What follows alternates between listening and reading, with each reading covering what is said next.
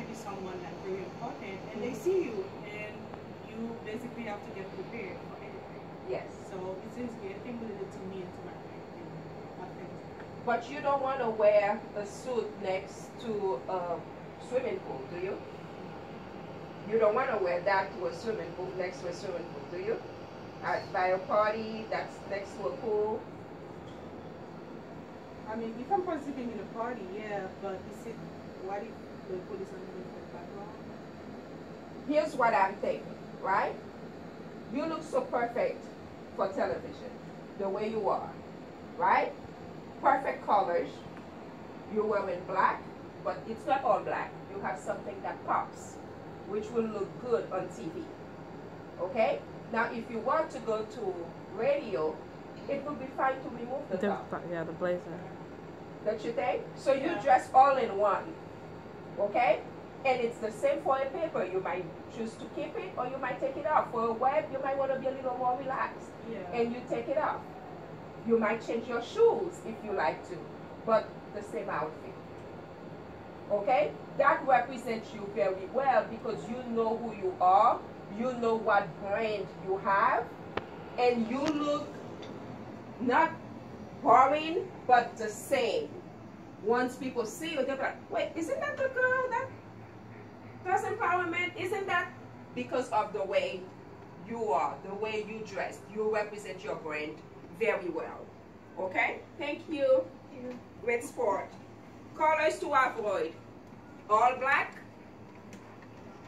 and all white.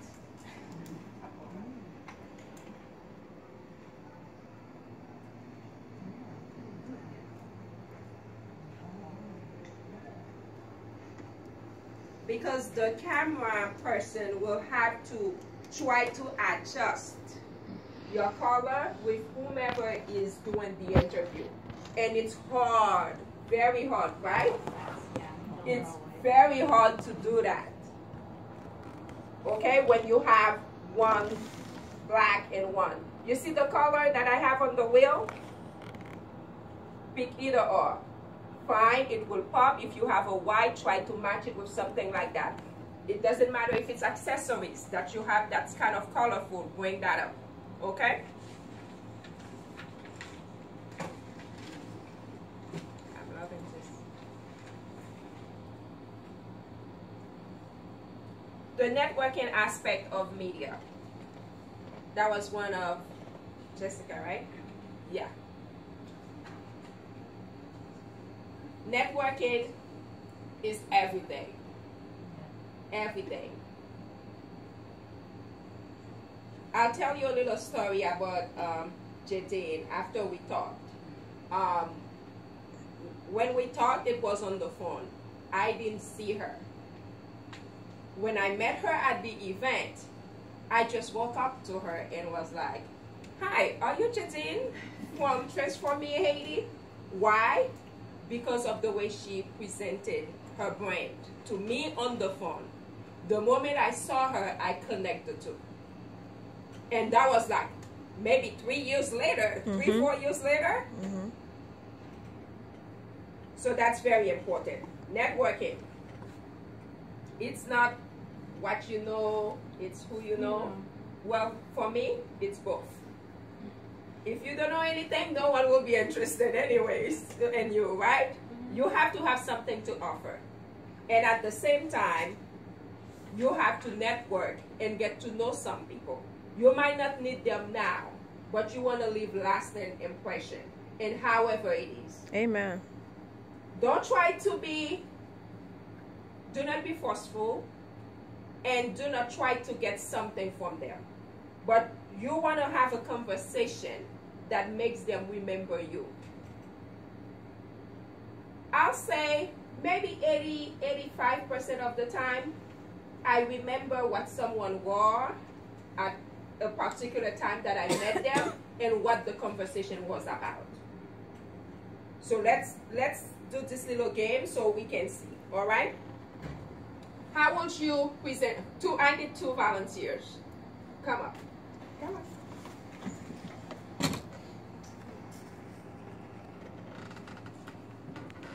You are at a networking event and you are going to see each other, right? They say get to know someone. How would you do that? Um, Just play, role play for me. Yes. Introduce yourself, get to know each other. Let me see how that networking works. okay. Hi, my name is Hi. Wait, actually, no, that's too much. I wouldn't say my first name like that. My first and last name. Hold on, can we restart? Wait. Yeah, let's restart. Okay, okay. Hold on, let me think. for a. This is kind of nerve wracking now. Why? Practice makes perfect. Because it's like in a real life situation, like how would I actually come up to you? Like, would I really be like, hi, um, I don't know. You are over criticizing yourself. Can we try? wow. Hi, my name is Kelsey. Hi, nice to meet you. How are you? I'm great, how are you? I'm doing great. My name is Rufus Morency. I'm a women empowerment um, leader. I'm a youth leader at my church, and I'm all for women empowerment. You know, women going from their brokenness to going for purpose. What do you do? Oh wow, that's really interesting. Thank you. Oh well, my name is Kelsey, and I'm I'm in business, and I want to create art supplies for people who cannot afford it. But then, but starting locally and then building it to become an actual store that people can go into, like you know, something like Michael's. About your business, how are you trying to transform it? Like, how are you trying to make it go bigger? Well, basically, I'm starting basically with who I am. I mean, who I am and who I know. It's basically who the people at my church. So it's basically sharing my story because it's very relatable. If women have been through something in their life where they have to cry, and sometimes we see those scars are not great or shameful. I'm just trying to bring the light on those scars and let them know that they are beautiful. They are enough strength that we can use them to go for purpose. You say you want to build art supplies. Which kind of art supplies do you want to do? Um, I want to create a product design of like a quality art supply that, let's say you can like, okay, so there's different mediums, right? Like watercolor and acrylic. I want people to be able to use them without using separate paintbrushes in a way, like if it makes sense. But I'm still creating the product. But I know I have to start with like something that will grab their attention first and then grow it out. Thank But- you. Oh. No, no, just stay there. We're gonna play this little game a little bit better, okay? You're gonna give first. The first thing you wanna do is give. Give whatever. Give something of yourself. Give something that you are thinking of. For example, you might wanna give a compliment at the beginning. You might want to talk about the weather. Oh, what a great experience that was. Oh my God, this person, as you are walking towards the person, right? Instead of just coming and, hi, I'm so and so, right? Start the conversation. Give something, a smile on your way to them. You letting them know that, hey, I'm, you know, I'm easy to talk to. I'm cool. I'm the girl next door. So you want to do something like that. Can we try that part? sure. Okay.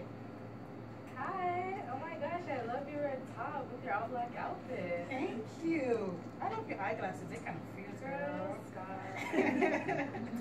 A little something from the glass store. That's good. What's your name? My Kelsey. What do you do? I do business. Stop. Say what's your name again? What's your name? Kelsey. Would you remember that? Once the oh. conversation is over, will you? Okay. So you're gonna repeat that. Hi, Kelsey. Okay. Repeat her name. So that's a way. It's like when you read and you recite, you remember it forever. Okay? She says her name and you repeat her name. Then you give her your name. All right? Let's do that. Hi, what's your name? Kelsey. Hi, Kelsey. Hi, what is yours? My name is Ruth. Hey, Ruth, how are you? I'm doing good. What do you do? Tell me a little about you. Give me something. Oh, wow. Okay, so I understand how that's going right now. You see Yeah. how it feels more comfortable Yeah. for both parties. And you want to close with something. Okay? No. Whatever a quick conversation, never never bring up what you do. Talk without saying anything about your platform. Then people will ask you, what do you do? whatever it is that you saw at that event or at the workshop or at the seminar, talk about that.